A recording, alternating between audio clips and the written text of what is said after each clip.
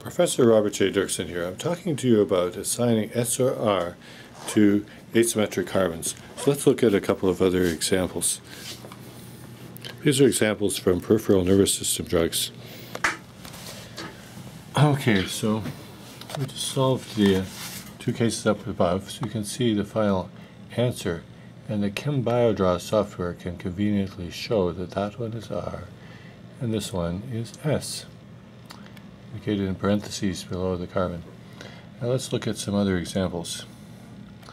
Here we have a molecule, I hate to say the name of it, but it's dexmedetomidine.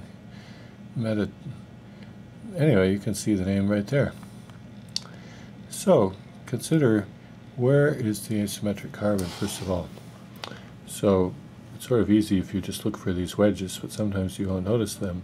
This is an aromatic group over here, so the only asymmetric carbon is this one right here. This is also an aromatic group over on this side.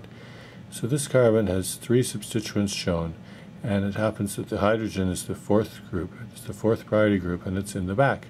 So this should be a straightforward case. We need to assign the priority to the three substituents that are shown. Methyl group will take the lowest priority. And this is a carbon here, this is a carbon here. So we have to move another step away.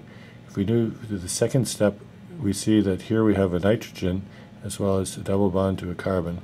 Whereas on this side, we just have carbons as the connectors to this carbon. So this nitrogen, according to the Cahn-Ingold-Prelog rules, takes priority over the carbons. And indeed, this functional group here, the substituent, is the top priority one. Second priority, third priority. We're moving in a counterclockwise direction, so this is S for dex. And this dex part has to do with the um, observed um, effects of this single enantiomer drug. Okay, now let's look over to another case from the peripheral nervous system drugs. This is epinephrine, also an endogenous compound human body that's important for the peripheral nervous system. So we look and see Oh, look, there's just one asymmetric carbon right here. Notice it has an oxygen bonded directly to it, and the other atoms in the other directions are carbons. So this oxygen-containing group will be the top priority. The hydrogen not shown is the fourth priority group, and it will be in the front in this case. So what can we do? First of all, assign the priority to the other two groups. This carbon is here, and if we move one step away, we see a nitrogen in this direction and two hydrogens up here. Not shown. In this carbon here, it has bonds to carbons, three other bonds to carbon, but this bond to nitrogen takes priority. So this is the second priority group. So we have first priority group, second priority group, third priority group.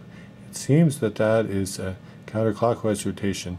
So that would be S if this group were coming out, but considering it's going back into the page, therefore, this is an R configuration. You can scroll down and see the final answer then, epinephrine R, and this DEX compound with the complicated name S.